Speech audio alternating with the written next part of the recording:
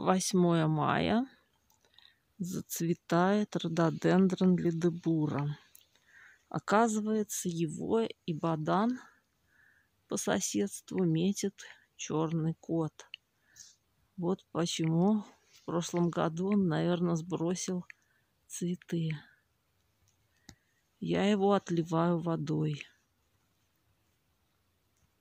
Расцветает.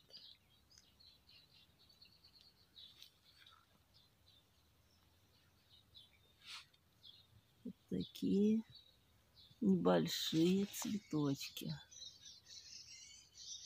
Сантиметра три с половиной, четыре в диаметре.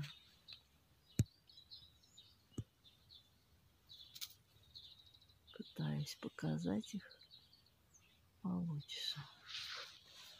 Они все в разные стороны.